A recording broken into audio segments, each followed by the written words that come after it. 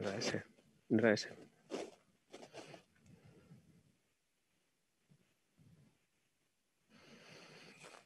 Buenas tardes.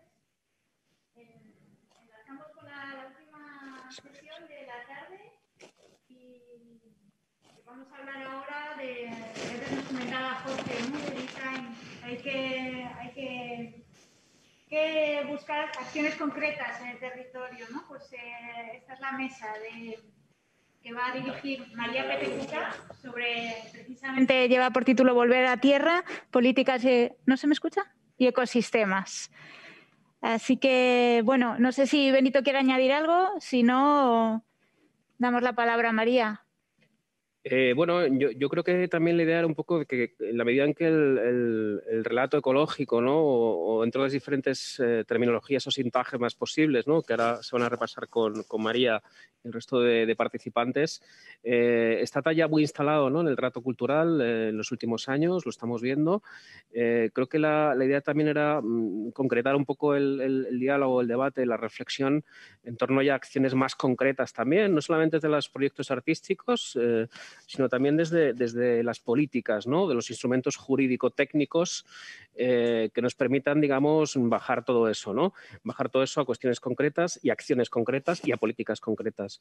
Eh, entonces, bueno, este es quizá el, grosso modo, ¿no? el leitmotiv de esta, de esta sesión y sin más le, damos la, la, palabra a María para, para que la conduzca. María Petecuca, gracias. Gracias, Benito Grial. ¿Se me escucha bien? Bueno, eh, bienvenidas a, todas las personas que estáis siguiéndonos por el streaming y a las que participáis en este, en este bloque. Em, como dice Benito, mi, preocupación era todo el rato, y de ahí el título de, Volver a Tierra, la, de aterrizar, la de aterrizar en, torno a esa palabra de ecosistemas. Por un lado, insistir en ponerla en plural, eh, no hay un ecosistema, hay, o, en todo caso sería un ecosistema de ecosistemas, pero estamos siempre hablando de, ecosistemas concretos, singulares y situados, ¿no? Eh, lo cual nos lleva a la complejidad, a la complejidad y a la, interdependencia entre un montón de, factores. Obviamente está la acción humana, eh, pero están muchos otros organismos, muchísimos otros organismos, visibles e invisibles, fenómenos naturales, fenómenos climáticos, pero también prácticas eh, y tradiciones y todo eso eh, conforma esas, articulaciones en donde tienen que, implantarse las eh, políticas medioambientales, teniendo en cuenta esa complejidad y esas singularidades. De ahí la dificultad de a la hora de hacer, de hacer políticas que priorizamos, ¿no? Eh, como decía, no hay lecturas unívocas y no hay soluciones fáciles. Necesariamente tenemos que instalarlos, eh, instalarnos en el problema y asumirlo. Eh, asumir que, las políticas medioambientales son muchas veces conflictos de intereses y en, los que hay que, hay que decidir y, hay que, y hay que mediar y no hay soluciones perfectas. Y esto de alguna manera choca un poco con, nuestra herencia intelectual eh, muy enfocada hacia la resolución de problemas.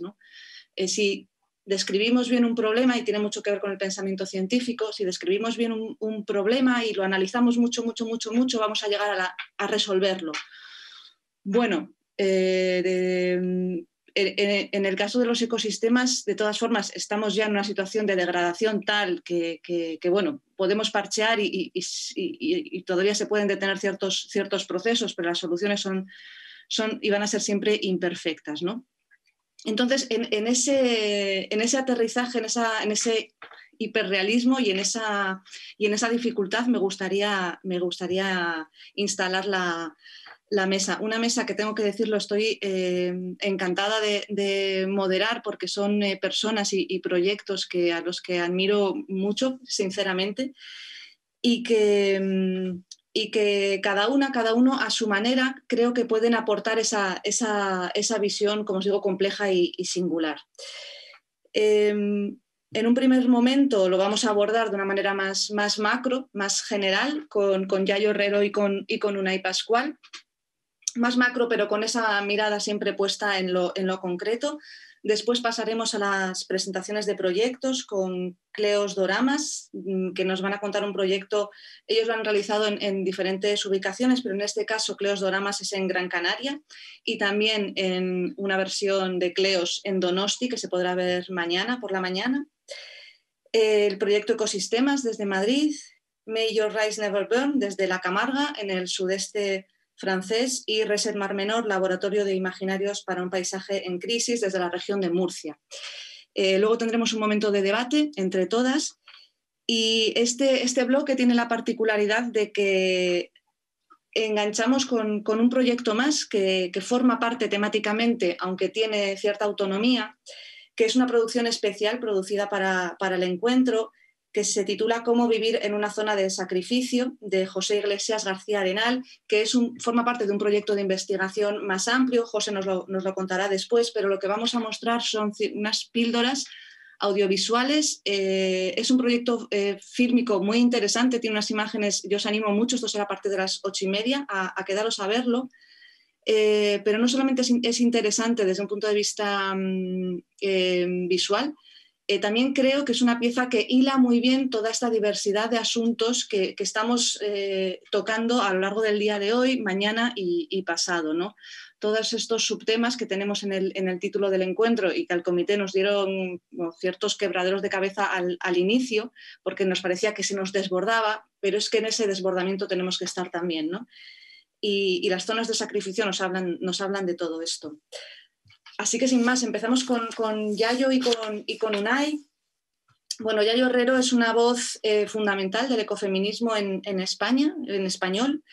Es antropóloga, es educadora social e ingeniera técnica, agrícola. Eh, encarna bien, por lo tanto, esta interdisciplinariedad que tanto reivindicamos ha sido, tengo un currículum extenso, selecciono algunas cosas, ha sido directora general de FUEM, una fundación que trabaja en el ámbito educativo y ecosocial.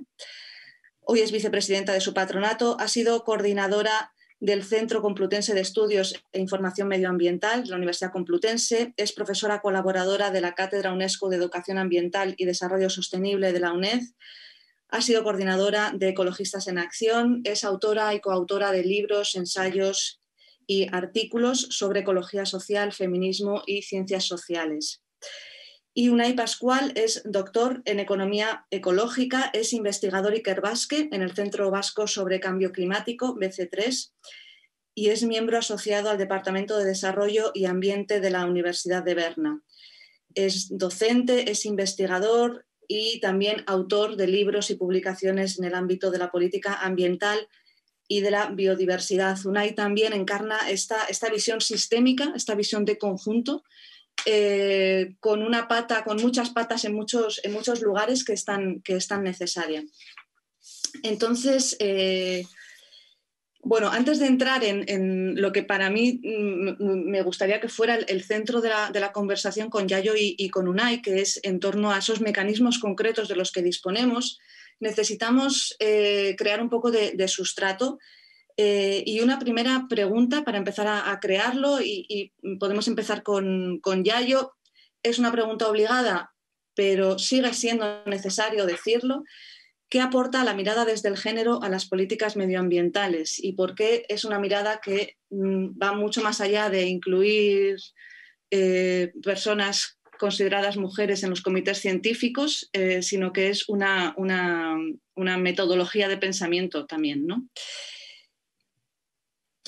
Bueno, pues buenas, buenas tardes a todos y a todas y muchísimas gracias, María. Muchas gracias por la invitación y por la organización de este, de este acto. ¿no? Bueno, pues yo creo que la, incorporación de la mirada de género, cuando lo vemos desde las perspectivas ecofeministas, tiene que ver ni más ni menos con, con pensar qué es lo que somos como personas y cómo se sostiene la vida humana, ¿no? Y si bien es verdad que la vida humana transcurre inserta en un medio natural del que obtenemos todo lo que necesitamos para estar vivos y vivas, es decir, que somos eh, naturaleza y formamos parte de ella y por tanto, digamos que somos sujetos que comparten un destino común, por así decir, con la naturaleza y con el resto del mundo vivo, es que también habitamos un segundo territorio, que es nuestro cuerpo. Que está también profundamente afectado, por así decir, eh, por lo que pasa con el medio en el que estamos. ¿no?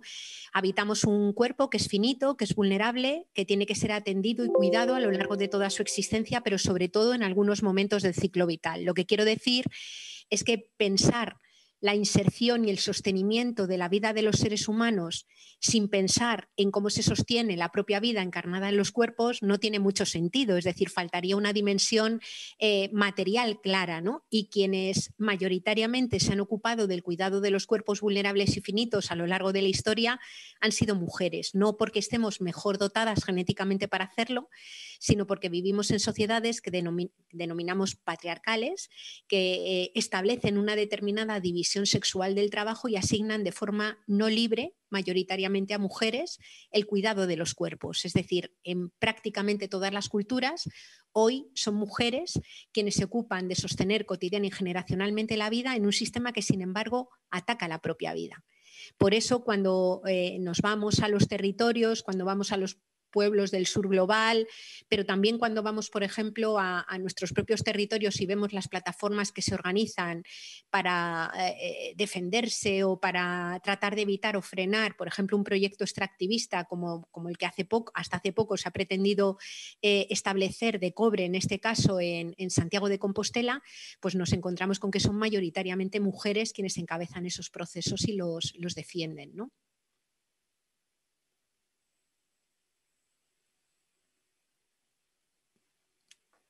Unai, tú has eh, trabajado también desde esa perspectiva que podríamos denominar interseccional sobre las, sobre las políticas ambientales eh, y, sobre el concepto de desarrollo sostenible. Eh, me gustaría traer aquí la idea de, zonas de sombra de las políticas medioambientales eh, hilando con lo que dice Yayo también, de qué nos estamos dejando fuera en las políticas medioambientales actuales, si no tenemos en cuenta esa mirada interseccional. Pues gracias por la pregunta y primero, bueno, pues también agradeceros a todas la invitación a tomar parte en este evento. Y recojo el guante un poquito, ¿no? esa idea del concepto de interseccionalidad que va más allá de cómo se aplica al género. Eh, a temas de género. Eh, yo creo que esto es un punto importante cómo, cómo, cómo, interactúan o esa intersección entre lo que es eh, el concepto de naturaleza y, y, el concepto de ser humano. O sea, y hay muchas visiones sobre esto. Y esto viene culturalmente dado. La religión ha tenido un, un impacto fundamental, pero bueno, en cada cultura, pues el ser humano se imbrica y se ve, y se visualiza y se, se percibe de manera diferente en la naturaleza, con la naturaleza, utilizando la naturaleza, etc. ¿no? La ciencia, y yo voy a hablar un poquito más desde el ámbito científico, eh, eh, en las últimas décadas, sobre todo, en la gran aceleración, eh, en estas últimas décadas, que se ha atomizado mucho. Una, manera de atomizarse también es que, que, ha tratado de separar lo que es la naturaleza de la economía, de un montón de, de, incluso de la salud, ¿no? O sea, se ha atomizado el conocimiento tanto que ha generado muchas sombras. La ciencia ha avanzado muchísimo, pero a la vez ha generado muchas sombras. Una de las sombras que me parece que es fundamental cuando hablamos de desarrollo sostenible, que por cierto ya no se habla tanto de desarrollo sostenible, ahora se habla de, de, de la transformación, eh, de la transición, y parece que ya estamos en otra ola, ¿no? Pero otra vez, eh, la transición hacia dónde, eh, la transformación de quién y para qué, eh, tampoco queda muy claro. Pero un concepto fundamental es el tema de la justicia ambiental. y la justicia ambiental y la justicia social tampoco se pueden separar, están, están completamente atadas. esa es una gran sombra. las políticas ambientales todavía tienen una especie de inercia eh, respecto a esa idea de maximizar el bien común eh, agregado y la economía, los aparatos eh, económicos, la, ciencia económica, si podremos hablar de ciencia económica, ha, fomentado esa, esa, idea de que primero maximicemos lo que podría ser ese bien común, es un concepto de eficiencia muy particular, una visión normativa muy particular, y después ya veremos si llega el caso cómo podemos distribuir los beneficios o incluso los costes. Entonces, la parte de la justicia social, de la distribución de los beneficios y los costes, se está quedando muy relegada. Eh, y cuando hablamos de cambio climático, cuando hablamos de, la conservación de la biodiversidad, también. Ahora cada vez se está hablando más de una transición justa, que pues menos mal, que por lo menos ese apellido a la transición por lo menos está en el discurso.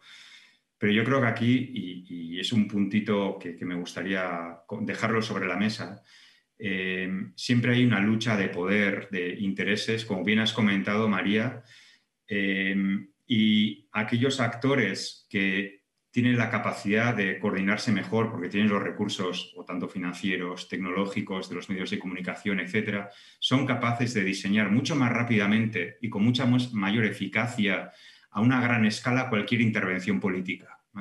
Pero claro, hay un contrapeso del activismo político, el activismo social que siempre está ahí para, contraponer ese tipo de diseños y un tipo de visiones y conceptos. Y esa también es una, una sombra. Y voy a poner un ejemplo eh, hay, grandes empresas transnacionales, incluso en el Estado, como Repsol, etcétera, etcétera, podríamos poner un largo etcétera, que empiezan a, decir que ellos son la solución al problema del cambio climático, que sin ellos no hay solución. Es cierto, sin ellos no hay solución, pero se ven como aladides de, eh, que son los que, los que más esfuerzo, los que más están invirtiendo, y eso es un discurso que está calando o están tratando de que cale en la sociedad.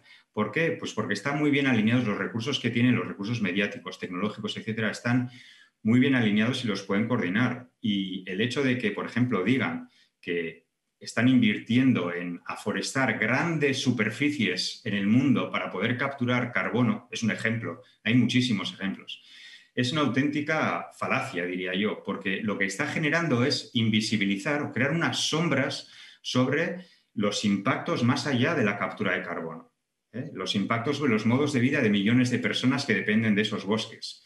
Eh, las sombras también sobre otros servicios ecosistémicos que un tipo de bosque puede generar y no una plantación ni un monocultivo, etc. Entonces, por un discurso que se está, que está coordinando muy bien por, ciertos actores, está generando muchas sombras, está invisibilizando pues, esa interseccionalidad entre lo que es los ecosistemas, ecosistemas de ecosistemas, la complejidad, cómo el ser humano se imbrica en, esos ecosistemas. En este caso podría ser bosques, pero y de todo eso no se suele hablar. Esos discursos no los no esos discursos que, aparecen en los medios de comunicación más y más, que se están naturalizando mucho, eh, están generando muchas sombras. Y yo creo que eso es, algo que, tenemos que tener muy en cuenta a la hora de, de, legitimar socialmente y, bueno, eh, aceptar ciertos discursos, ciertas prácticas y ciertas soluciones que, como bien has dicho, no existen, no hay panaceas. Lo que hay es un camino, hay un proceso y en ese proceso hay vencedores, perdedores y, negociaciones y conflictos y todo. Y eso es la vida y eso es lo que hay que ir gestionando poquito a poco, ¿no? Es, hacer el camino más que, más que eh, tratar de conseguir una solución. Nadie va a traer una solución a un, a un problema tan complejo como puede ser la degradación ambiental, global o local. Ya, yo. ¿Quieres añadir algo sobre lo que ha dicho Unai? Bueno, sobre la, justicia ambiental en, concreto. Sí, yo, vamos, estoy, comparto básicamente lo que ha dicho, lo que ha dicho Unai, ¿no? Yo creo que hay que tener en cuenta que, que todo lo que hoy llamamos crisis ecológica, em, eh, igual que se decía con el, que el COVID nos igualaba y se dice el cambio climático le afecta a todo el mundo, es decir, el COVID puede eh, el virus en sí mismo puede llegar y afectar igual a un cuerpo que a otro, pero en función de la posición de clase que tengas, de tu género, de la edad, eh, de que seas una persona diversa funcional, eh, de que seas o no una persona racializada, las consecuencias son radicalmente diferentes. Y por tanto, todas, absolutamente todas las dimensiones de la crisis ecológica en su, en su, digamos, aterrizaje concreto en los territorios y los cuerpos, actúan de una forma radicalmente distinta y extremadamente desigual. Por tanto, em, digamos, no podemos mirar, y yo coincido con lo que decía Unai, no podemos mirar la crisis eh, económica o los problemas de, polarizaciones o de eh, profundización de las desigualdades sin conectarlos directamente con la, la, crisis ecológica que estamos atravesando y con la degradación del medio. ¿no? Eh, por tanto, eh, hay formas distintas de afrontar los problemas ecológicos que tenemos por delante y algunos eh, pueden, y voy a ser un poco provocadora, incluso de una forma mm, eh, no, consciente, terminar en propuestas, plantearse como soluciones y, terminar en propuestas que son puro ecofascismo. Es decir, puede haber soluciones eh, que sean solamente viables para personas. Yo mm, eh, creo que, lo que estaba señalando Unai es muy importante, ¿no? Eh, es decir, ver cómo grandes empresas transnacionales, muchas de las que cotizan en el IBEX 35 y otras de otros que, están erradicadas o tienen sus titularidades en otros países, hoy se postulan como, como las grandes soluciones para los problemas del medio ambiente, mientras que a la vez son empresas que están presionando hasta la extenuación para que se firmen tratados de libre comercio que blindan precisamente los privilegios y eliminan la posibilidad de defender los territorios. Eh, y no solamente eso, sino que los grandes ejércitos del mundo eh, en sus documentos estratégicos en los últimos años reconocen la crisis ecológica, la definen como una especie de multiplicador de las amenazas y se autopostulan como especialistas en el caos para contener. ¿no? Claro, detrás de esto lo que hay que eh, plantearse las grandes preguntas son para contener de qué manera, al servicio de quién, en beneficio de quién, y ahí es donde está la gran tensión. Es decir, se puede intentar salir de estas crisis por una vía extremadamente desigual e injusta y se puede intentar salir de esta crisis con un principio de suficiencia, un principio de reparto y haciendo, digamos, de, la lógica del cuidado en, en, todo el sentido amplio, una lógica que permita organizar la vida en común. Es bien diferente. Voy a rescatar aquí una, frase eh, tuya, Yayo, que mm, dices que los, recursos, pensando ya en, esas posibles soluciones imperfectas, pero ¿a dónde podemos ir a mirar? Dices, eh, los recursos no son solo los recursos, son los recursos y sus prácticas. La cuestión de las prácticas y de los saberes y de los conocimientos es central en, la, en la apertura de otras miradas sobre el, cambio climático o la crisis medioambiental. ¿Nos podrías brevemente eh, situar respecto a, esta idea? ¿A qué te refieres cuando dices que los recursos son también las prácticas sobre esos recursos? Bueno, es, justamente esta semana, a raíz de un artículo que escribía Gabriela Vázquez, eh, sobre Elinor Olstrom, pues eh, recuperábamos el, el, trabajo que ella hizo eh, contraponiendo o discutiendo lo que había sido un conocimiento unánimemente admitido, que era el de, la, el de la tragedia de los comunes, el hecho de que las personas son incapaces de gestionar recursos en común y que, salvo que haya una propiedad privada sobre los mismos, em, es imposible poderlo gestionar. ¿no? Lo que Elinor Olstrom lo que hace es documentar justamente lo contrario y señalar que a lo largo de la historia de los seres humanos, pues bienes finitos, vulnerables, han podido ser gestionados por comunidades a partir de todo un conjunto de reglas consensuadas con sus sistemas de normas y de sanciones que han permitido organizar la vida en común. Hablaríamos a lo largo de la historia, pues desde la gestión del agua, por ejemplo, del Tribunal de las Aguas de Valencia, hasta la gestión comunal de pastos, por ejemplo, donde vivo yo en Cantabria, que todavía hay pastos comunales, hasta un montón de prácticas eh, que, eh, que permiten sostener que las personas son capaces de ponerse de acuerdo en entre ellas para gestionar aquello que consideran que es indispensable eh, para su vida y, hacerlo además eh, garantizando el acceso, ojo, no, no, de forma idílica, no sin conflicto, no sin tensiones, ¿no? porque eso es inherente, digamos, al, propio uso de los recursos. ¿no? Lo que quiero decir es que en este momento el gran problema que tenemos desde mi punto de vista es que hay cuestiones que son esenciales para la vida que se están gestionando por entidades que tienen como principal prioridad la obtención de beneficios o la maximización de las ganancias en términos monetarios. Claro, si la prioridad es la maximización de las ganancias, la prioridad no es el sostenimiento de las vidas, está una por encima de la otra. Y desde mi punto de vista es un error garrafal dejar la gestión de bienes básicos que están en la naturaleza de recursos básicos, de procesos esenciales, en la mano de entidades que no tienen como prioridad el sostenimiento de vidas dignas. Por tanto, cuando estoy hablando de saberes y de prácticas, me estoy refiriendo a la recuperación o a la invención de toda una serie de prácticas, eh, digamos, sociales y políticas. Yo creo que necesitamos mucho y más de más sí en el ámbito de la ciencia y la tecnología, pero aún necesitamos mucho más y más de más sí en lo social y lo político.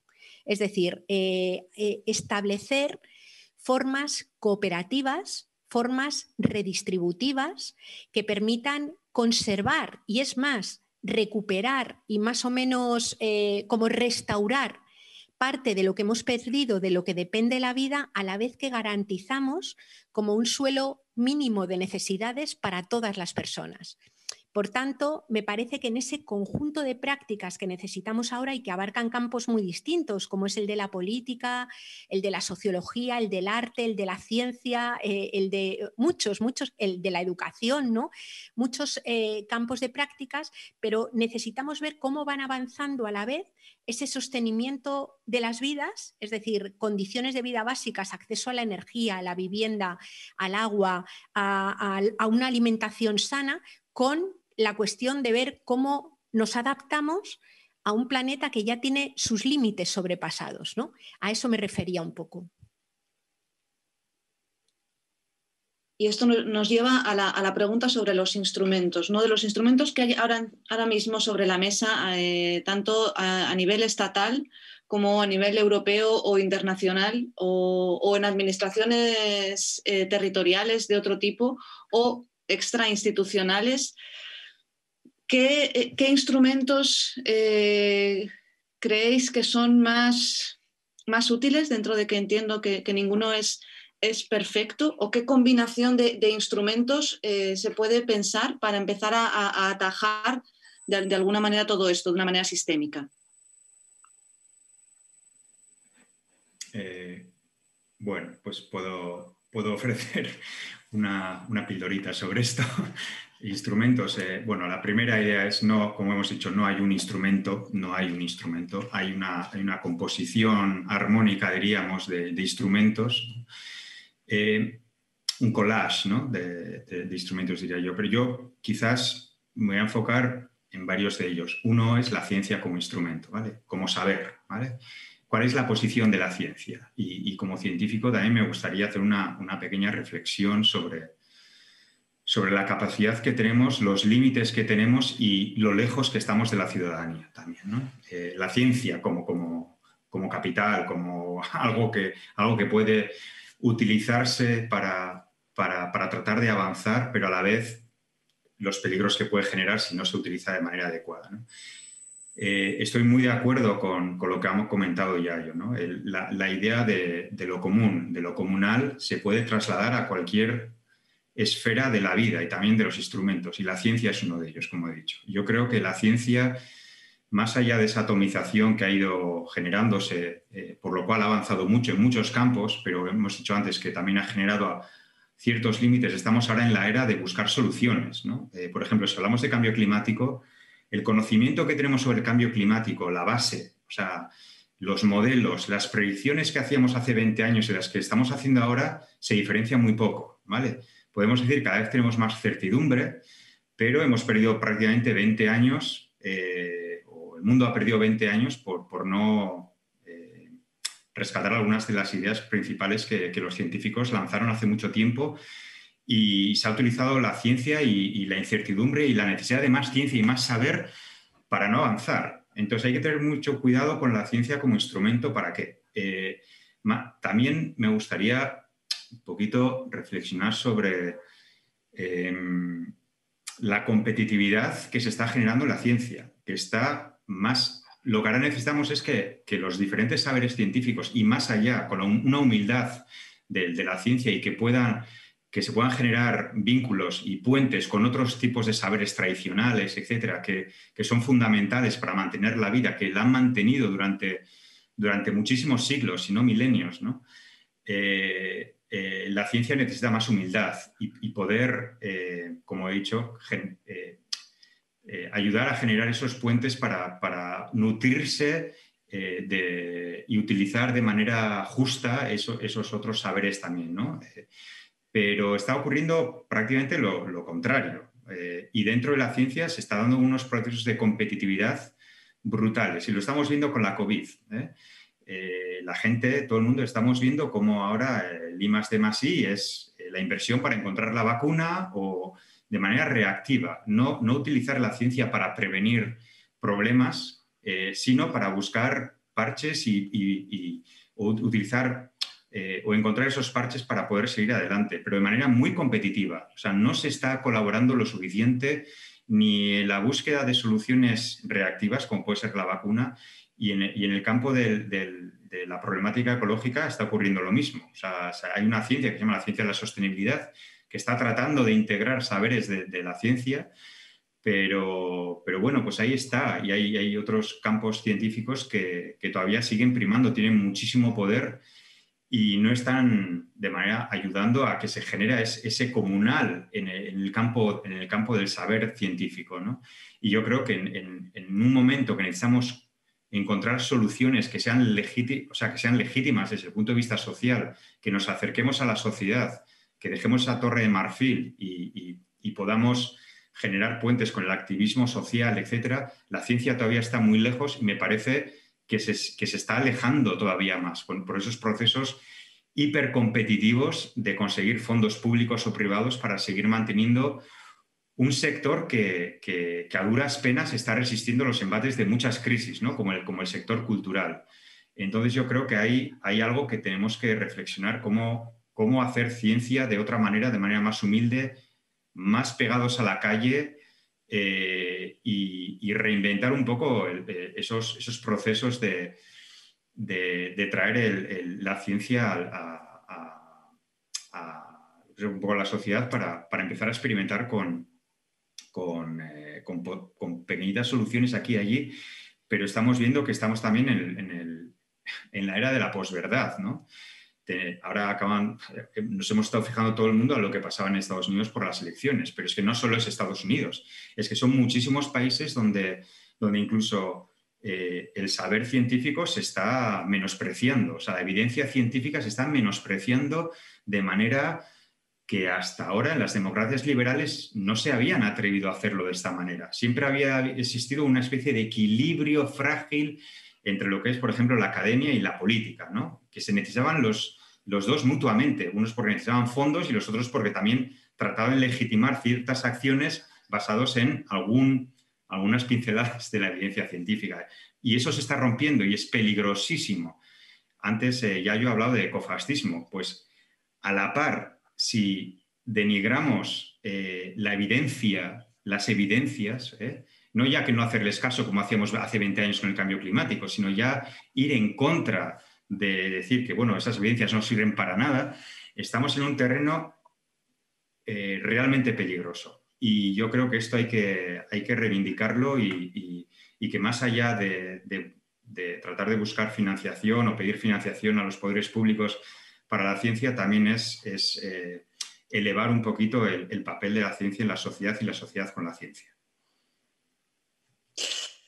Para eso nos gustaría que este encuentro fuera una pequeña semilla, muy, muy humildemente. ya yo. A ver, yo voy a tratar de aportar así de una forma muy sintética, bueno, empezando planteando que, que sin estar dentro del ámbito académico, comparto 100% lo que acaba de, de señalar Unai, ¿no? que me parece, me parece que es absolutamente clave. Pero en cuanto a instrumentos y claves, eh, yo quería centrarlas como en cuatro ejes, ¿no? así por ordenarlos de alguna manera. ¿no? Uno primero que tendría que ver con la restitución de los equilibrios vitales básicos en términos de clima, suelos, biodiversidad, sistemas naturales y alimentarios y, y potenciación de resiliencia. Es decir, necesitamos abordar con políticas públicas, digamos, una recuperación de los equilibrios básicos eh, dentro de lo que se pueda en nuestros territorios, ¿no? porque además, en concreto, el territorio de la península ibérica es uno de los territorios más afectados, desde luego, por el cambio climático y un territorio, a su vez, muy dependiente en términos de materiales y energía del exterior. ¿no? Es decir, eh, un país que tiene un modelo económico basado fundamentalmente en el turismo a gran escala, en la automoción y en la la construcción, ¿no?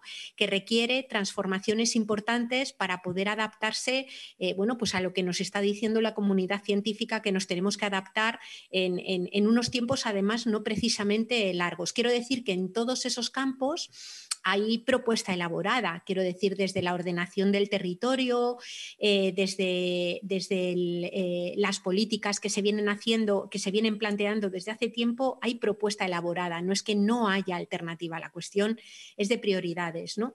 Luego, un segundo eje tendría que ver con la transición socioeconómica, esta de la que hablaba antes UNAI, que se ha nombrado tanto, ya no se habla, es verdad, tanto de desarrollo sostenible y, que, y, que, creo que tiene que manejar el binomio energía y clima a la vez. ¿no?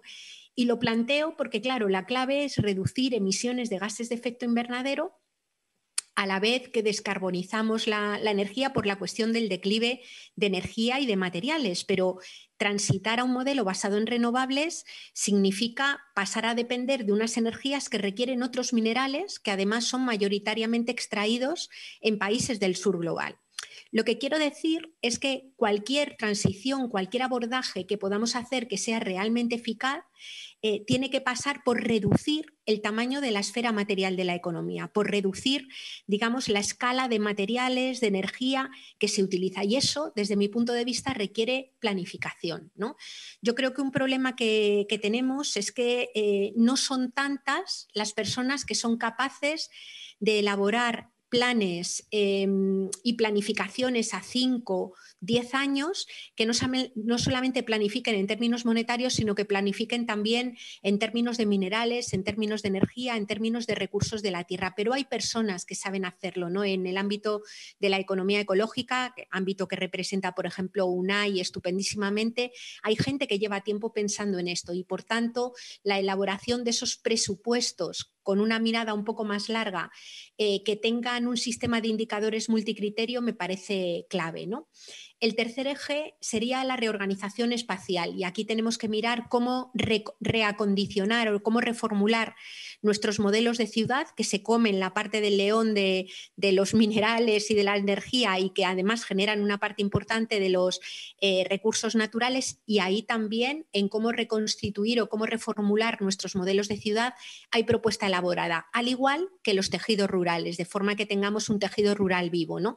Son muy interesantes, por ejemplo, los trabajos que se están haciendo en Vitoria en torno al concepto de ecoregión, que está tratando de recomponer, eh, digamos, esa falsa dicotomía que existe entre lo urbano y lo rural para tratar de encontrar unos equilibrios armónicos diferentes. Y el cuarto eje, que a mí me parece que es fundamental en esa línea del I más D más I eh, político y social, es la profundización de la democracia, la participación ciudadana y la justicia social. ¿no? Aquí, de una forma muy rápida, lo que quiero decir es que lo que ha dicho Unai es clave. ¿no? Él, lo, enfocaba en la parte de la, de la ciencia pero claro, ahora mismo, si necesitamos, porque hay múltiples conflictos, necesitamos deliberación y necesitamos búsquedas de consensos mínimos y establecimientos mínimos de lo que es el interés general, claro, el punto de partida de que tengamos a, a la población tremendamente polarizada, eh, no ya solamente con opiniones ideológicas diferentes, sino un punto de partida de hechos radicalmente diferentes, es un problema. Porque digamos que el punto de partida de cualquier debate democrático es al menos partir de un suelo de hechos constatados y objetivos comunes. ¿no? Y a partir de ahí, desde las diferentes ideologías, deliberar ese suelo objetivo en este momento por toda esta lógica de las fake, news y, de, del, eh, que se ha generado, eh, pues es difícil establecerlo. ¿no? Y por tanto, creo que a nivel eh, de, de garantizar el derecho a la información y a una información de calidad, me parece que es una política pública clave. En cuanto a la participación ciudadana, por ejemplo, la propia Convención de, París, del Acuerdo de París, eh, viene a plantear una cosa que se llama competencia ecosocial o competencia climática, que es algo que tendríamos que intentar eh, trabajar a partir no solamente de las agendas mediáticas, sino también de los sistemas educativos, que son absolutamente claves. Em, en cuanto al tema de la justicia, creo que tendríamos que, y hay líneas planteadas, se han venido trabajando recientemente el establecimiento de un plan nacional de cuidados que tenga una mirada del cuidado amplia, que incluye obviamente toda la cuestión de la, justicia social desde toda esa perspectiva eh, interseccional que hablábamos antes, ¿no? La, étnica, la de procedencia, la de género, la de edad, la de eh, eh, un enfoque que no sea capacitista, de, por supuesto de clase y demás. ¿no? Y por último, señalar que necesitamos también em, toda esa mirada del arte, ¿no? porque em, lo racional, siendo absolutamente fundamental, no es lo único que nos permite articular em, cambios importantes, ¿no? sino que esa racionalidad de la crisis que vivimos y del futuro que, merecemos tiene que pasar por el cuerpo. Y entonces necesitamos, desde mi punto de vista, probablemente tengamos ya una inflación de relato distópico, pero tenemos una escasez, digamos, de generación de un horizonte de utopías, un horizonte de deseos que puedan ser compatibles con la realidad material que tenemos. Y en ese sentido me parece que el arte es crucial. Bueno, un poco atropellado, pero por señalar instrumentos y líneas de trabajo que me parece que son cruciales. Muchas gracias, Yayo. Como ocurre a menudo, ahora entramos como en el meollo del, debate, pero tenemos que pasar a, la siguiente sección porque vamos con un poquito de, retraso, pero igual hay cuestiones que podemos recuperar después en el, en el debate. Empezamos con las presentaciones de, proyectos, empezamos con Cleos Doramas, como os decía, un proyecto ubicado en Las Palmas de Gran Canaria. Es un proyecto de Nomad Garden y Antropolux, con la colaboración de Datrix, Salam Producciones y el Ayuntamiento de Las Palmas. Y están con nosotras Sergio Rodríguez, arquitecto y cofundador de Nomad Garden, y Rubén Alonso, también arquitecto, diseñador y músico, co-creador del proyecto Antropolux. Os paso la palabra. Perfecto. Buenas. Tenemos que. Ah, pues vamos a intentar introducir un cambio de registro o por lo menos continuar el registro de otra manera. Y empezando con un pequeño relato, ¿no? Inicialmente. Vamos a compartir la pantalla. Vamos a empezar contando palmeras. 181. Concretamente son las palmeras del género Fenis dactilífera que crecen en el Parque Doramas de las Palmas de Gran Canaria y a través de Viera y Clavijo conocemos que los antiguos aborígenes de la isla portaban ramas de ellas y de otros árboles a las montañas sagradas, donde las amariguadas danzaban y cantaban al mismo tiempo que la gente clamaba al cielo, y después eran conducidas por el faicán en procesión hasta la playa, donde el mar depositaba conchas vacías de unas caracolas que se llaman bucios, a las que hacían sonar mientras daban golpes con las ramas a la superficie del océano concluyendo así un singular ritual para invocar a la lluvia. Aunque estas manifestaciones perviven bajo formas cristianizadas hoy día, las formas de comunicarnos con entidades como el clima evidentemente han cambiado. El bucio que estamos escuchando es un aerófono, una trompa natural que está hecha con la caracola charonia lampas y que históricamente se ha llamado trompa de tritón. Es un instrumento que podríamos decir que es de los más antiguos y distribuidos por todo el planeta el toque que, vemos ahí, ¿no? en la cima de la montaña y que, estamos escuchando, pertenece al ritual de la rama de las Marías en Santa María de Guía, en las Palmas de Gran Canaria.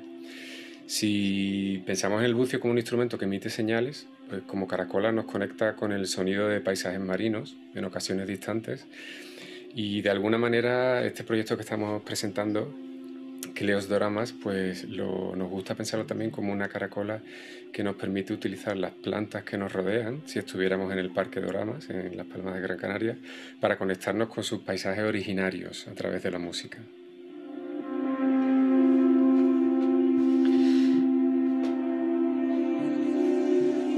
Entre los 1000 y los 2000 metros de altitud crecen en la isla los bosques de pinos canarios, un piso vegetal que durante los siglos XV y XVI fue sobreexplotado para producir brea, una materia utilizada para calafatear los barcos con destino a América.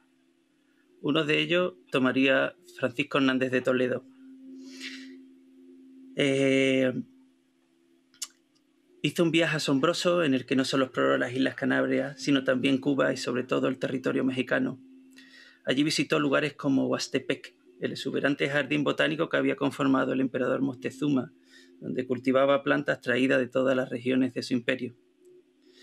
Conscientes de que la erosión a la que estaba exponiéndose la civilización mexica, Hernández emprendió un programa de exploraciones y entrevistas a sabios locales, descubriendo la fascinante y sorprendente taxonomía local. Poco a poco, en los escritos que enviaba a la corte se fueron combinando los principios clásicos heredados con las complejas estructuras botánicas mexicas, el latín con el nahuatl, un conocimiento que se fue tornando cada vez más mestizo, atesorando un mensaje que a veces no gustaba tanto en la corte, el reconocimiento del otro como interlocutor simétrico. Este fragmento que suena es una de las piezas polifónicas más antiguas en la lengua nahuatl que se conocen y está recogida en el Códice Valdés, que es un libro manuscrito de música litúrgica datado a mediados del siglo XVI, ¿no? casi en la misma época en la que, el siglo VI, perdón, casi en la misma época en que Francisco Hernández recorría México en, en busca de sabios locales la incertidumbre temporal que, bueno, que hay también un poco en su datación, la podemos encontrar también en la autoría, ¿no? porque supuestamente se, se, se, dijo que era de Fernando Franco, un compositor eh, que desarrolló su, su, labor en la Nueva España. Solamente la mera existencia de esta pieza polifónica que relacionamos aquí con, con el mundo vegetal nos habla de las estrategias de aculturación y de evangelización que los religiosos eh, tomaron o hicieron o desarrollaron en lo que era un nuevo mundo para ellos.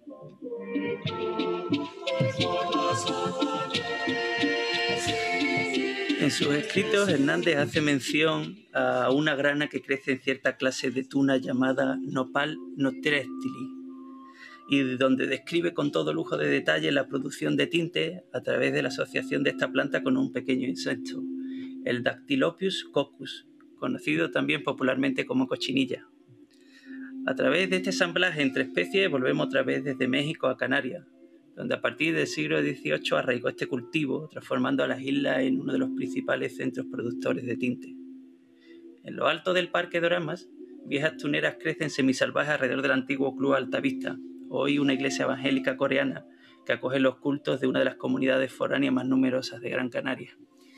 A finales del siglo XIX, eh, Émile Etienne Guimet, un magnate francés fabricante del azul marino artificial y amante de los viajes, fundó el Museo Guimet.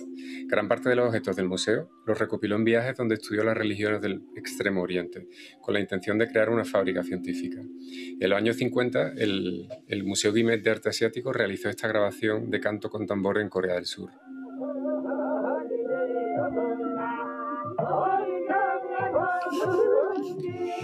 Las voces y tambores eh, nos llevan a Corea, pero la grabación en sí misma nos habla del complejo cruce entre capitalismo industrial y humanismo occidental, en una época de exposiciones universales y colonialismo.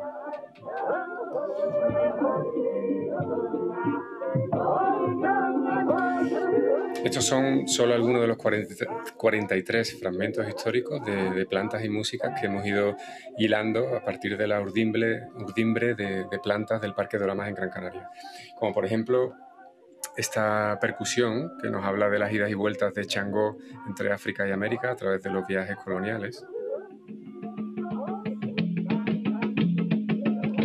y que suenan en el parque cuando utilizamos cleos y nos aproximamos a plantas que tienen ese mismo origen. O como por ejemplo esta vihuela, que también nos habla de, las idas y vueltas de las endechas entre el territorio canario colonizado y el europeo.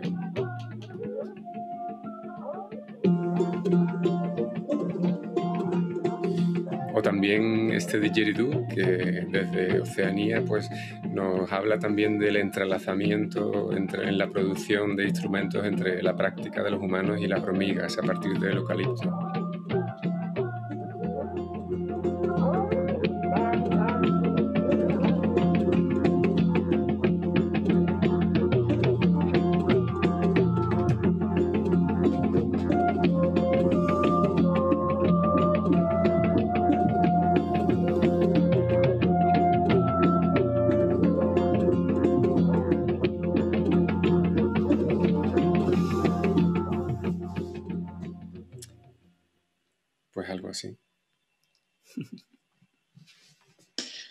Muchas gracias, Sergio Rubén. Eh, bueno, decíais que es un cambio de registro, pero yo os contestaría, y hilo con cómo eh, cerraba ya yo su, intervención sobre, sobre el, arte, eh, lo hilaría con, una, con algo que, dice un filósofo que se llama Baptiste Morisot, un filósofo bastante joven, una nueva generación, que, dice que, que, podemos ver también la crisis actual, la crisis ecológica, como una crisis de la sensibilidad. ¿no?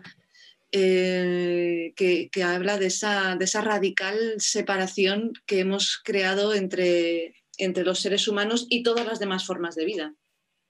Eh, entonces, a través del trabajo sobre lo sensible, quizás es, eh, también uno de los caminos necesarios dentro de esa pluralidad de, mecanismos, uno de los mecanismos necesarios para, después poder imaginar otras, otras políticas. ¿no? Quizás es importante también repensar en, nuestro lugar y nuestras relaciones con otras, con otras especies. Vosotros en concreto trabajáis con plantas, con jardines, eh, e insistís en, esta idea que, a mí me apasiona, ya lo sabéis también, de que las plantas nos, nos cuentan historias. Sí, el, el, Cleo se basa en una idea como muy sencilla también, que es intentar como escuchar la memoria de las plantas que, lo, nos pueden contar o, unir esos dos mundos, digamos, natural y cultural a través de, un artefacto tecnológico que nos permite pues, recorrer los jardines y, escuchar esa memoria de, tanto de las plantas como de, las redes y de los ecosistemas que forman en, ese lugar concreto. Y lo intentamos hacer pues vinculando expresiones musicales tradicionales de, los mismos orígenes de las plantas para, que la gente en esos lugares concretos pueda hacer un paseo con, esta tecnología y, casi como escuchar y remezclar también con su paseo esas distintas voces y esos distintos recuerdos, ¿no? que, en el fondo también persiguen, por un lado, eh, desvelar el origen mestizo que, que, tenemos como cultura a través de ese mestizaje que existe en el mundo vegetal de, especies que pensamos que siempre están en nuestras ciudades de toda la vida, pero cada una vive en una, parte, diferente del mundo y de realidades históricas muy diferentes. Y también intentar crear como una experiencia sensorial y, de casi un poco de comunión, ¿no? de, de, las personas con, el, con ese parque en concreto y entre, y entre también las personas que, que se sitúan allí en ese momento como un espacio de convivencia porque, un jardín es algo que defendéis vosotros también, es, un espacio eh, profundamente cosmopolita. En el que conviven muchos, muchas formas de vida con sus respectivas historias juntas, ¿no? Sí, hay, hay algo que nos gusta, nos gusta pensar, ¿no? Es esta idea del, Normalmente los jardines públicos, no, yo creo también, ya yo había hablado antes con la crisis de lo común también, los jardines públicos como están gestionados por instituciones, parecen como más o menos ornamentales, son eh, entidades más o menos neutras, ¿no? Pero eh, a veces también, también queremos problematizarlo o escuchar esas historias que están detrás o esas otras cualidades, ¿no? En este sentido, mm, la, app de Cleosdrama funciona casi como un gabinete de las maravillas, ¿no? El que se interroga a las plantas, se tira del hilo para ir amasando pues relatos científicos, propiedades, efectos o cualidades que tienen, eh, cómo nos afecta diferentes, eh, de diferentes maneras nuestros cuerpos, al ambiente pero también a, la cultura. ¿no? Y, una cosa esencial es que son relatos que parten de las plantas concretas que están en ese sitio, se vinculan con historias que atraviesan ese sitio, es decir, es cosmopolita, pero a la vez es local. Pero igual que el viaje parte de las plantas, intentamos que terminen también con ellas, ¿no? Porque todo se condensa en esta app que solamente abre los contenidos o esta escucha cuando te acercas a las plantas. Es decir, una experiencia que solamente puedes acceder en el propio jardín, ¿no? Entonces el jardín también eh, se convierte en el lugar donde se consuma ¿no? esa, esa relación. Y, también es interesante porque no solamente se trata de un intercambio de bytes ¿no? o de información, sino que en el jardín pues, intervienen, como decían antes, hormonas, terpenos, eh, sustancias que atraviesan, las plantas se están protegiendo, ahora ve alergenos es decir, es un sitio ¿no? lleno de, información y, de, y también de, efectos que, que, nos parece muy sugerente. ¿no? Entonces, como, como una obra que no solamente parte de allí, sino que realmente se cierra en ese espacio. Eh, la imagen que, ha compartido Rubén, no sé, además... compartirla ahora mismo. Sí, nos gustaría compartirla casi. Este, por ejemplo, es casi, es un mapa de, los árboles del, jardín de Cleosdoramas, ¿no? Pero también es como una partitura, ¿no? Porque realmente conforme te vas moviendo, las piezas que, que ha seleccionado Rubén siempre tienen el, el mismo Sí, no se modifican los tonos originales y solamente se hacen ajustes de tiempo un poco para que dialoguen desde épocas y lugares distantes. Entonces, conforme te vas moviendo, ¿no? Es también una experiencia que es el propio cuerpo el que va despertando y va haciendo ese remix, ¿no? Es decir, es interesante pensar no solamente para nosotros eh, la posibilidad de agenciar, ¿no? Y de que estos elementos no sean solamente elementos singulares, aislados, sino crear esas otras posibilidades, esas otras combinaciones, ¿no? Esas otras armonías o polifonías que de las palabras que se nombró esta mañana que nos resultaban muy sugerentes.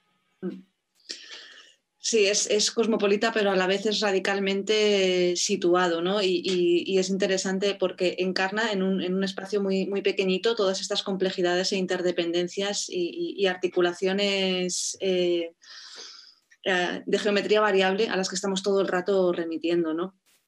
Eh, mañana a las nueve y cuarto creo que es, ahí presentáis una, versión de, Cleos en el Parque Cristinanea, a lo de, Tabacalera, que las personas que están en, Donosti podrán visitar y, nosotras y nosotros desde, desde nuestras casas podremos ver a través de la pantalla, ¿verdad? Sí, intentaremos hacer una ventana dentro de todas estas ventanas para ver si podemos acercarnos al lugar físico y real y, compartir un poco con todo el mundo pues esa, esa, obra específica que hemos desarrollado, que pretende también ser como una semilla que, que conecta Tabacalera con la Fundación Cristina Nea, cultura con naturaleza y que pueda crecer en un futuro. Sí. Pero sobre todo invitamos a los ciudadanos que pasen por el parque a, a utilizarla, ¿no? Eh cambiamos de, ubicación singular y nos vamos a, Madrid con Carmen Aro y Proyecto Ecosistemas. Carmen Aro es profesora e investigadora de la Universidad Rey Juan Carlos y, una de las instigadoras de, este, este pequeño gran dispositivo que también mira, mira al territorio de manera eh, voluntariamente muy situada. ¿no? Carmen. Bueno, muchísimas gracias por, todo, a la organización, a ti María. Estamos encantadísimas de, participar en este encuentro y, para poder presentar el proyecto y también participar dentro de, este debate. Eh, voy a compartir la presentación, pequeña presentación. Eh, a ver si se ve bien. Sí, perfecto. Eh, bueno, este, este proyecto, Proyecto Ecosistemas, eh, nació hace un año a través de, la convocatoria de, Mirador Arganzuela, eh, propuesta por Intermedia Matadero, y, también gracias a Matadero porque participamos también dentro de, la exposición de ecovisionarios. En ese primer momento, nuestro, el territorio donde empezamos a explorar y a trabajar fue Madrid-Río y los alrededores de Matadero.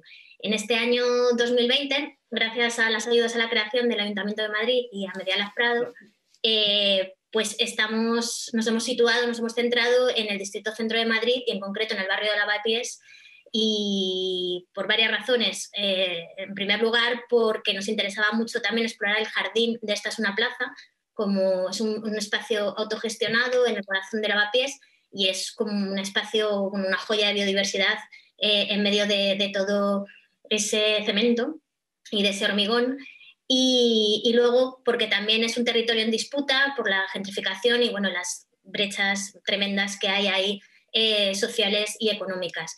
Eh, también, eh, bueno, el proyecto se iba a iniciar antes del COVID, el COVID, el COVID lo, lo, retrasó un poco bastante, ha cambiado un poco también el proceso, pero bueno, también nos ha parecido una oportunidad importante para reflejar cómo se está viviendo esta experiencia o esta pandemia en un mismo territorio y, cuán diferente es para las distintas realidades y las distintas comunidades que conviven ahí.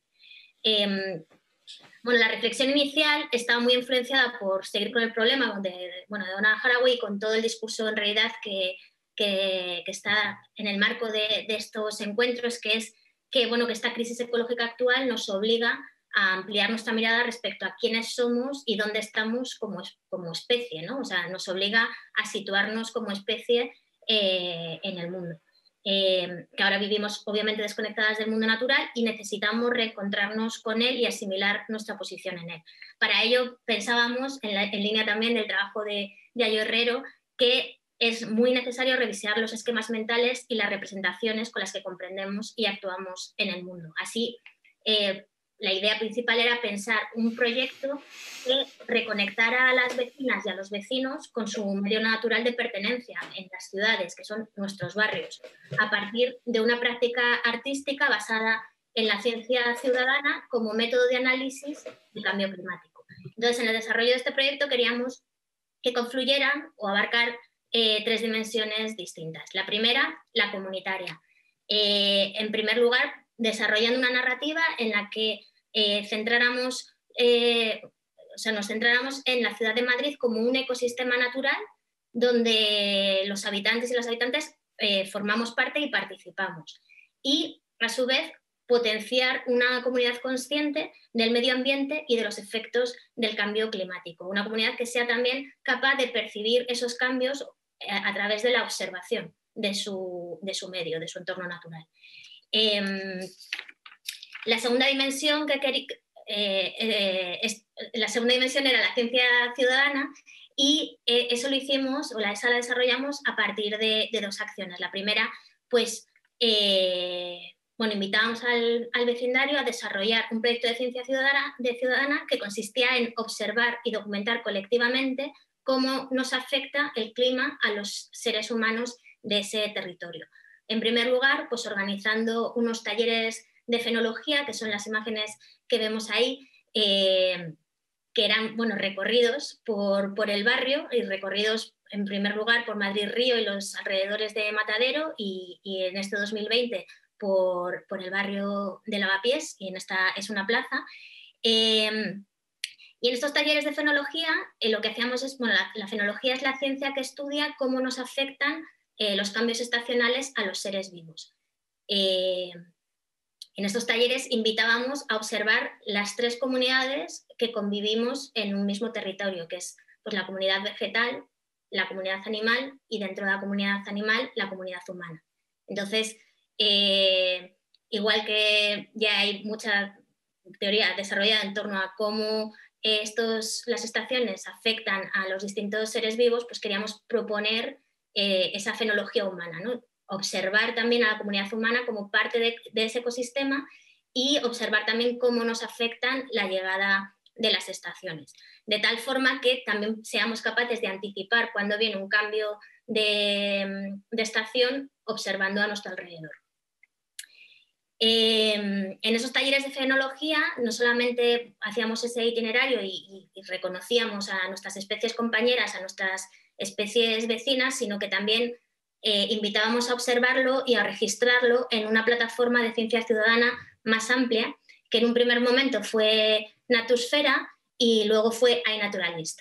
Eh, este es el mapa de observaciones que hay pues, en Madrid y vemos también la maravilla de los datos como el distrito centro, eh, bueno, pues tiene muchísimas menos observaciones que, los alrededores, ¿no? Pues que, aquí concretamente los alrededores del río o el retiro. Eh, esta plataforma de ciencia ciudadana permite identificar especies en el mismo, en el mismo territorio, mapearlas y compartir esos datos de, de acceso abierto con toda la comunidad global de, científicos y científicas ciudadanos. Esto lo hicimos para la observación de, especies eh, pues de flora y, de fauna local, pero también teníamos la fenología humana. Entonces, para la observación y el registro de, la fenología humana, eh, lo que hicimos fue trabajar con cuadernos de campo, con diarios de campo tradicionales y con un diario colaborativo en Padlet, donde hay compartíamos también pues, esos registros y esas observaciones de, la comunidad humana. Y luego la tercera dimensión es, digamos, la artística, aunque todo el proceso ya parte en realidad de una mirada eh, artística, ¿no? en el sentido de que ya estás realizando una observación intensa de, tu entorno y, estás intentando eh, invitar a, una nueva forma de, mirar eh, tu realidad más inmediata, eh, al, vincular este proyecto también a centros de arte e innovación social como Matadero y como Media Lab, eh, pensábamos también en el arte como la pieza. Entonces, lo que hicimos fue diseñar una pieza de arte colaborativo que es esta infografía que recoge todos los datos que, compartimos eh, la, comunidad, en este caso de Arganzuela, durante los meses que, estuvimos trabajando. La infografía lo que quería o lo que quiere es ser una cápsula del tiempo que recoja la experiencia inmediata de otoño del 2019, en este caso, en un territorio concreto que es Arganzuela. En ese momento, una cápsula de tiempo que nos permita observar los cambios estacionales a lo largo del tiempo y también anticipar esos cambios, posibles cambios provocados por, la crisis climática. Cuando lo hicimos en 2019 no éramos conscientes de que esta cápsula del tiempo eh, nos iba a servir para ver el cambio radical de un año para otro, ¿no? porque en concreto la comunidad humana de, Arganzuela del 2020, eh, no, vamos, si observamos ahora mismo la comunidad humana, no se comporta de la misma manera que, hace un año. Entonces, eh, no lo sabíamos en ese momento, pero ya estábamos anticipando que, esta cápsula del tiempo en realidad nos iba a servir ya como, como, mapa de, un año para otro. Eh, esta pieza la, hace Miguel Rodríguez, que es el artista visual que, trabaja conmigo en este proyecto, y está pensada también para un, un espacio expositivo eh, en sala, ¿no? en, en Matadero. Eh, está pensada para, detenerte con calma y observar cada detalle y, bueno, eh, no sé si puedo ampliar un poquito. Pero podéis ver cómo... Vemos, Carmen, que nos están viendo las, imágenes. Eh, no sé si después igual se pueden, se pueden mostrar. ¿No se ven? No, nos hemos quedado en la, en la primera. Anda, pues sí, pero igual se pueden, se pueden lanzar después, las podemos recuperar. Anda, pues, vale. sería muy interesante verla. Sí, eh, bueno, a lo mejor si salgo de pantalla completa eh, se puede ver. Si no, de todas formas, en la página en proyectoecosistemas.com eh, hemos hecho una labor de documentación importante registrando cada taller, hay vídeos de cada proceso. Los últimos talleres que hicimos eh, este otoño, que fueron la semana pasada, al no poder hacerlos presencial, los hemos hecho online y están colgados ahí. Y también se pueden descargar la, la, la, infografía para poder mirarla con, con, más calma y con más detenimiento. Y espero no haberme comido más de cinco minutos en la presentación. Sí, bueno, vamos un poco justas con el, con el tiempo, así que si os parece, dejamos eh, las preguntas y, eh, y los comentarios para, para el final. Y pasamos a May Your Rise Never Burn, que va a presentar Estel Julián, eh, arquitecta y artista. May Your Rise Never Burn, como os decía, es un proyecto ubicado en la Camarga, en el sureste francés, y desarrollado en el marco de Atelier Luma, que invita a diseñadores a trabajar sobre ciertas temáticas. Estel, ¿te pasa la palabra? Sí, hola, ¿se me oye? Hola, pues encantada de estar aquí, impresionada un poco, pero bueno. Eh, pues eh, el proyecto May uh, Never Burn es un proyecto que propone el reuso de la paja de arroz, un residuo agrícola, para la fabricación de dispositivos de protección lunar. Como lo acabas de comentar, es un proyecto de investigación desarrollado en el marco de Atelier Luma. Atelier Luma depende de la Fundación Luma.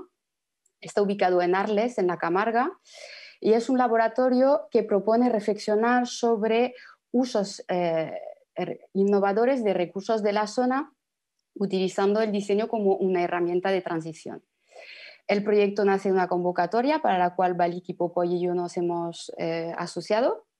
Baliki Popoy eh, es un colectivo creado por María Villagán y Silvia Caballero, ambas artistas y artesanas del Esparto, y yo, Esther Julián, arquitecta que trabaja el entorno urbano y rural de manera un poco experimental.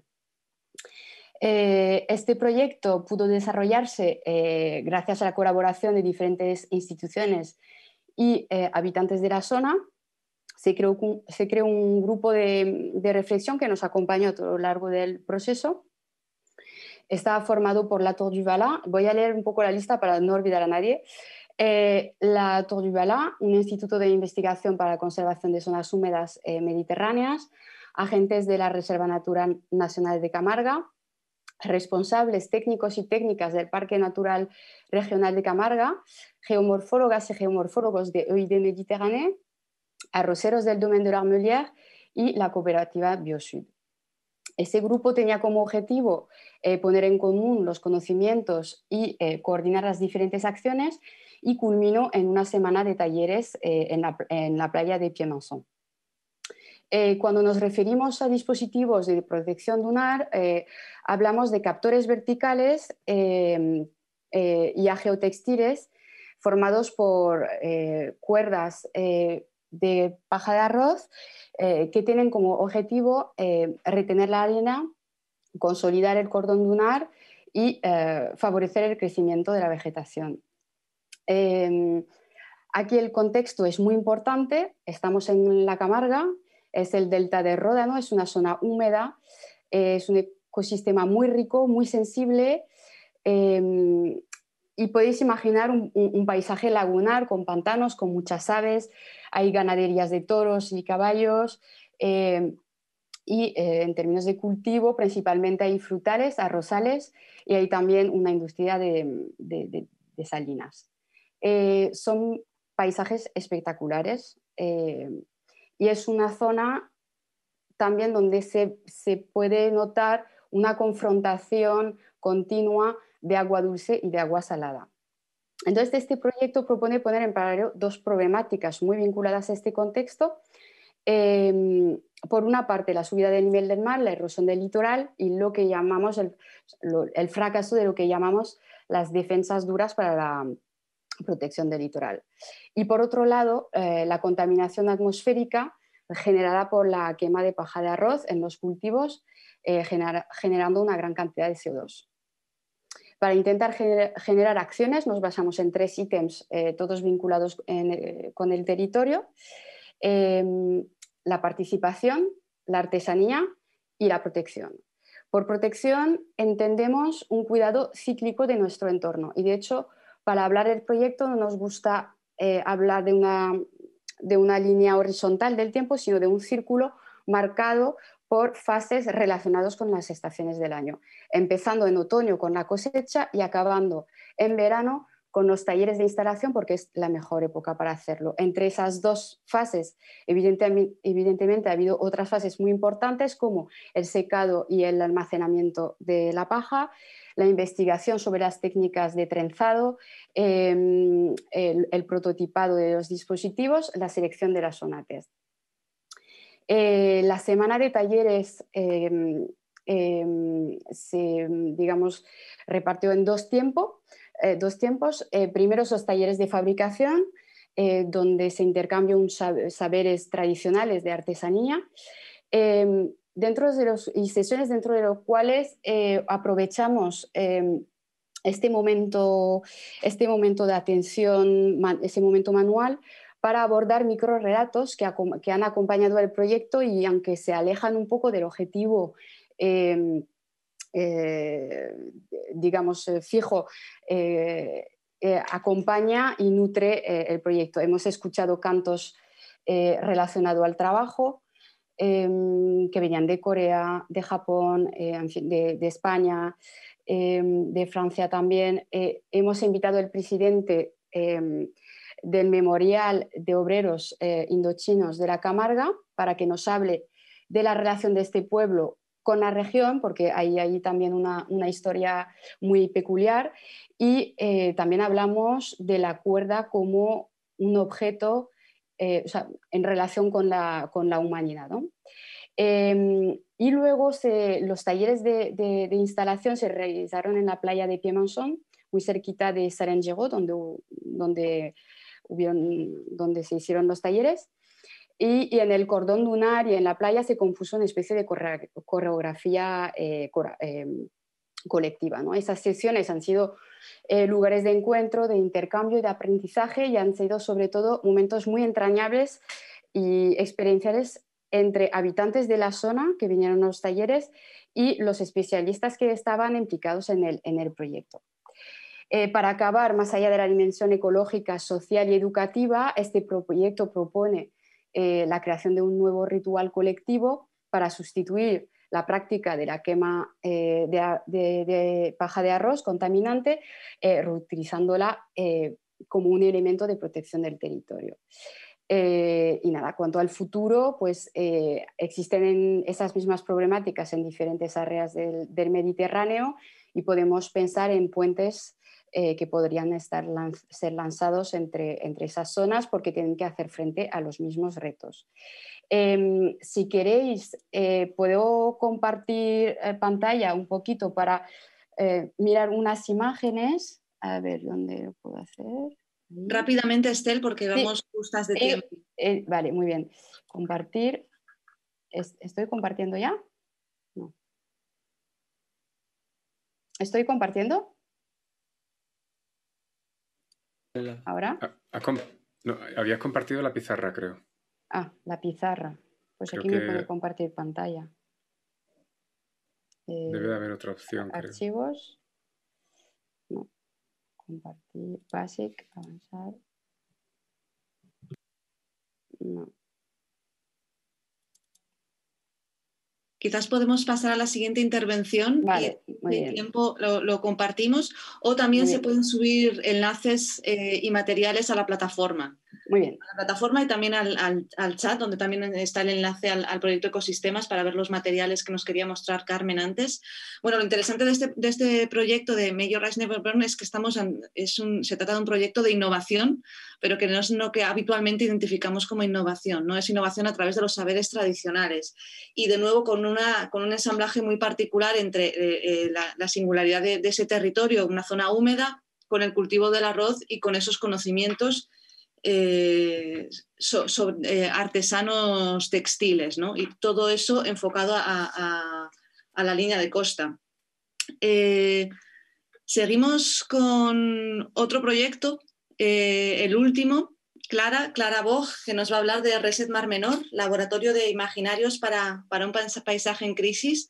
De nuevo, un enclave súper singular y específico que funciona como una especie de, caso de estudio concentrado de, colapso medioambiental. Clara es artista, investigadora y docente de la Universidad Politécnica de Valencia y es la directora de este proyecto de investigación, que es un proyecto de investigación artística que, junta a, artistas, científicos y movimientos sociales en torno a las problemáticas de, ese territorio. Clara. Hola, buenas noches a todos. Eh, bueno, muchas gracias por, la oportunidad de estar aquí esta noche con vosotros eh, y también por la oportunidad de conocer mejor esos, esos proyectos tan fantásticos que, acabamos de, de, ver, que creo que de alguna manera bueno, son el acompañamiento perfecto para el proyecto de Reset porque de alguna manera eh, abordan esa idea que nosotros tratamos de explorar de las artes como formas de pensamiento, ¿no? las, artes o las prácticas artísticas como un instrumento con capacidad de dar forma a los pensamientos de una manera muy diferente a, cómo sería el, eh, o cómo se articula el conocimiento en la ciencia o en las humanidades y, bueno, con posibilidad de apelar a la experiencia y la percepción de ese conocimiento de otra manera. Y en ese territorio es desde el que hemos tratado de dar forma al proyecto Reset Mal Menor. Eh, os voy a compartir también mi pantalla. Eh, archivos. Si lo... Ah, vale. Pues un momento, si me permitís porque esto no lo habíamos probado antes.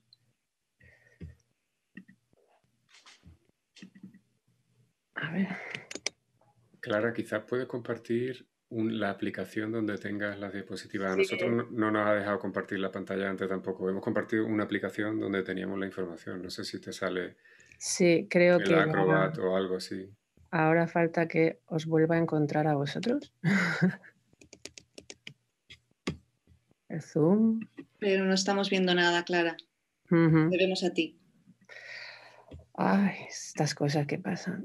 Vamos a ver.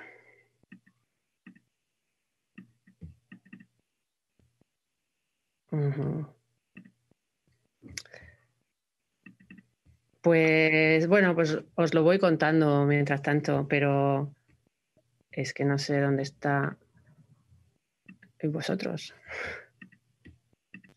Ah, vale, vale, perfecto. Creo que ya lo voy a conseguir. Disculpa. ¿Me estáis viendo la pantalla? ¿Ahora? ¿Sí?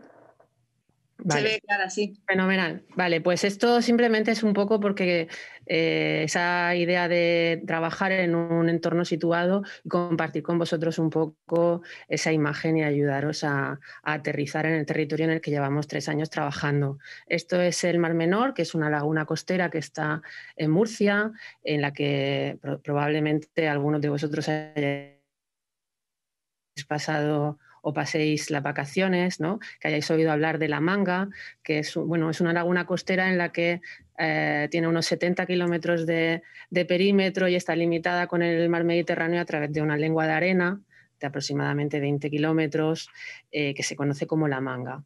Es un lugar eh, pues muy singular, que, goza de varias figuras de protección medioambiental, tanto de carácter nacional e internacional, y bueno, que de alguna manera eh, mantiene en su esencia y en la idiosincrasia de, la vida de algunos de los pueblos que limitan en ese, en ese contexto pues de la vida tradicional pesquera y bueno, una, un, paraje eh, que es singular tanto desde la cultura como desde la flora y la fauna que, lo habitan.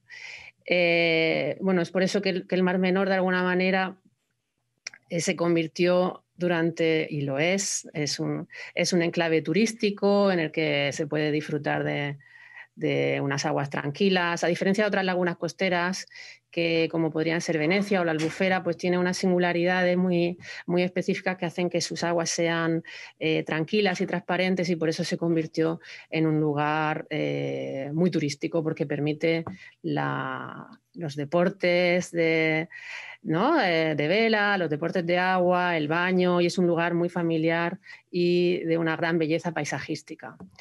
Y bueno, pero al mismo tiempo, y ahí está un poco la clave que toma el proyecto, al mismo tiempo, sobre ese enclave, se han ido sucediendo una serie de acontecimientos, de acciones, eh, de, iniciativas propiciadas por el hombre que han dado lugar a que podamos considerar el Mar Menor como una pequeña metáfora de eso que venimos llamando eh, el antropoceno, ese concepto que desde la desde la geología hemos tomado un poco prestado en el pensamiento contemporáneo para ayudarnos a activar una forma de, pensamiento en torno a cómo el ser humano afecta eh, y transforma el planeta.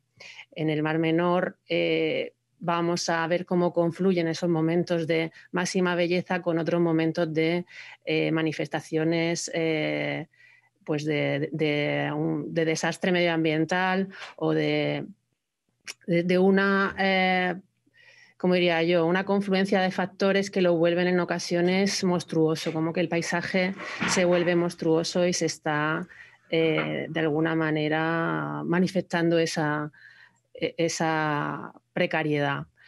En el año 2016, en mayo de 2016, sucedió un acontecimiento que, aunque esto simplemente fue el detonante de un proceso de, como diría yo, de alertar a nivel social una preocupación que ya llevaba tanto los vecinos como muchas organizaciones sociales y vecinales, como sobre todo distintas comunidades de científicos avisando del equilibrio tan inestable que se, estaba, eh, que se estaba rompiendo en la laguna a causa de los vertidos de la agricultura. es la laguna del Mar Menor, ese enclave tan peculiar se rodea de todo el campo de Cartagena, que en los últimos años ha cambiado de régimen agrícola del secano a una agricultura eh, intensiva eh, con invernaderos. Eh, y también tiene, está en la cuenca de la Sierra Minera de la Unión, con lo que durante muchos años fue objeto o el lugar de, donde iban a parar todos los residuos de la minería. Bueno, pues ese momento de eutrofización máxima en el que el agua se volvió verde, se llamó la sopa verde, fue el momento en el que, digamos que este problema que, que parecía oculto porque seguíamos bañándonos en aguas transparentes y mientras el agua estuviese transparente no pasaba nada, podíamos seguir disfrutando de ese, de ese paisaje y, extrayendo sus recursos, digamos, paisajísticos en forma de, vacaciones, pues hasta ese momento, fue en ese momento cuando, cuando comenzó a darse una preocupación mayor. Eh, bueno, estos son los campos que rodean em, el Mar Menor y que a causa de la utilización de fertilizantes y a causa también de las, escorrentías, ¿no? la bajada de agua que llevan esos fertilizantes al mar, provocaron un crecimiento excesivo de, de, las microalgas y que el agua se volviera verde y a partir de ahí se iniciaran distintos procesos que afectaron a todo el ecosistema y a toda la vida de la laguna bueno, algunas imágenes de vertidos ilegales, una transformación, un pequeño mapa que muestra cómo las distintas praderas de, Caulerpa eh, fueron desapareciendo.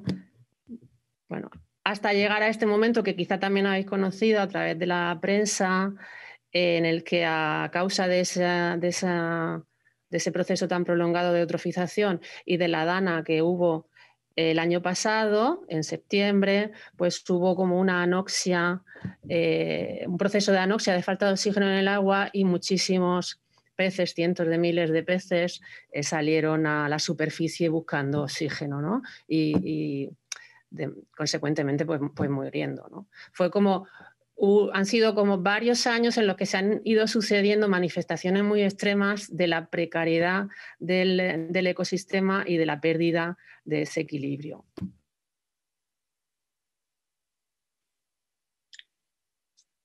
Muchas gracias. convivir, estamos como en un lugar en el que conviven estas, imágenes. ¿Sí? ¿Se ve? Sí, te has quedado, te has quedado parado un momento. Eh, sí. Vale. Sí, continúo muy breve.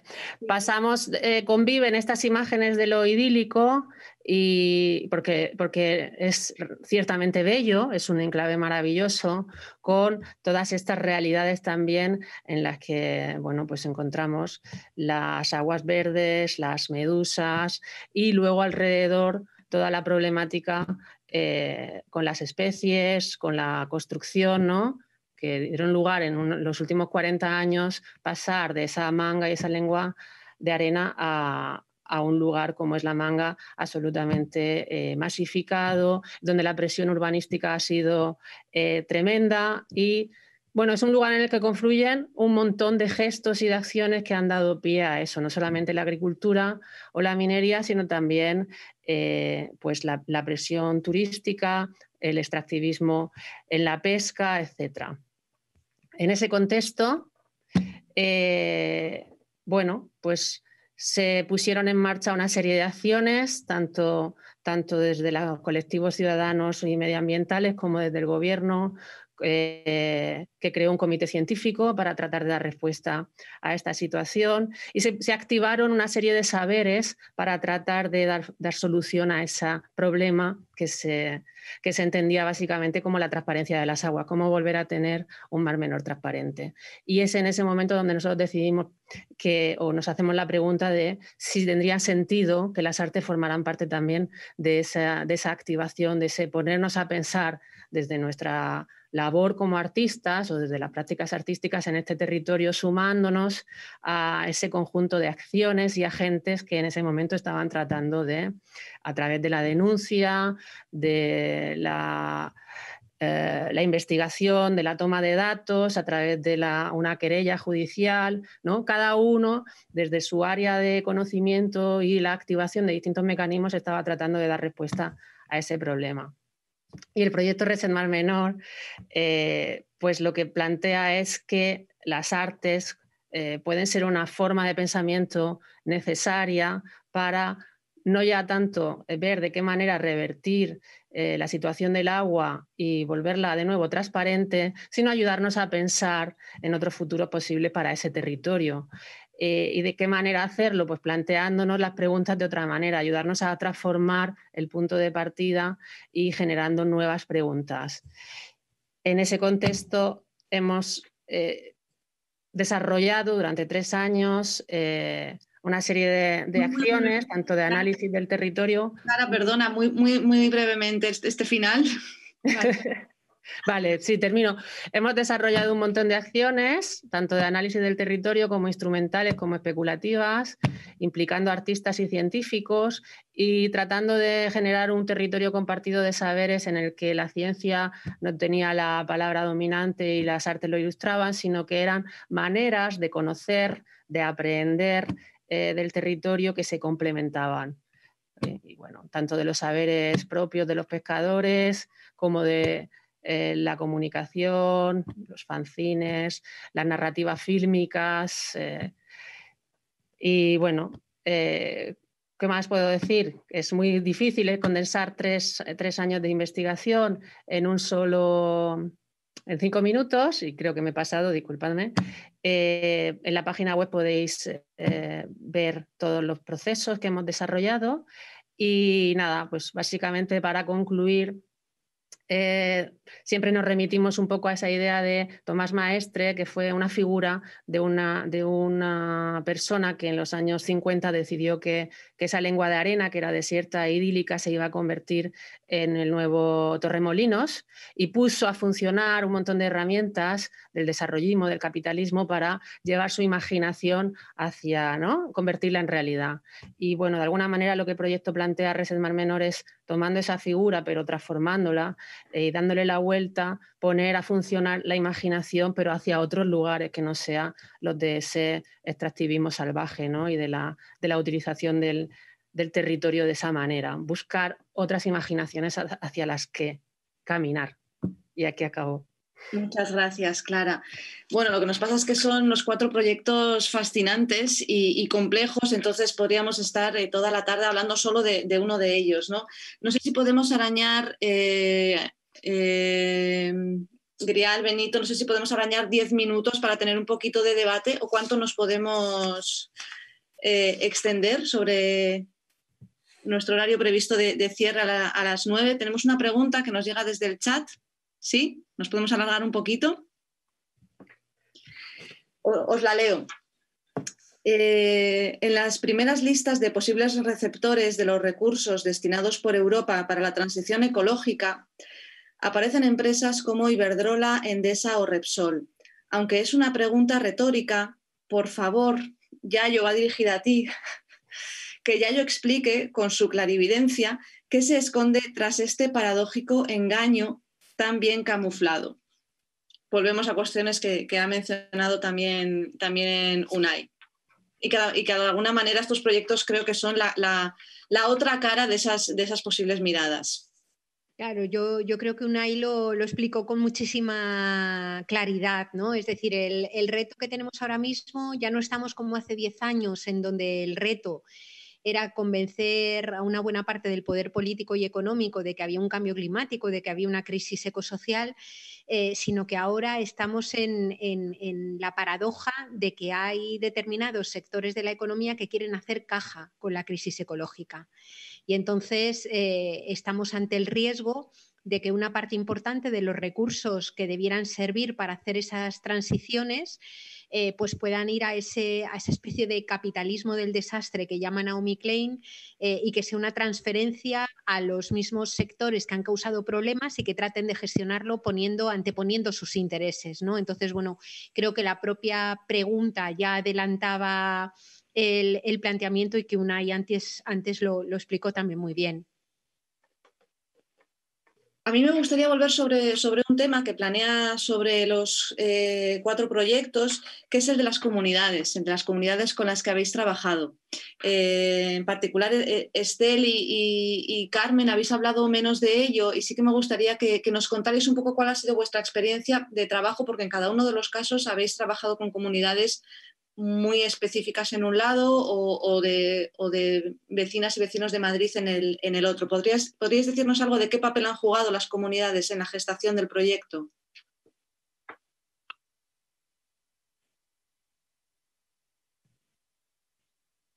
Vale, empiezo yo si queréis. Em, Por favor, súper breves porque estamos desbordando el tiempo completamente. Eh, las comunidades juegan un papel fundamental en cuanto a que sin ellas no existe el proyecto. Eh, vamos, el registro tiene que ser colectivo porque si no tampoco tiene ningún sentido y la pieza del final también. Eh, en los talleres de ecosistemas de Arganzuela, eh, el perfil era más adulto, fueron un perfil diferente.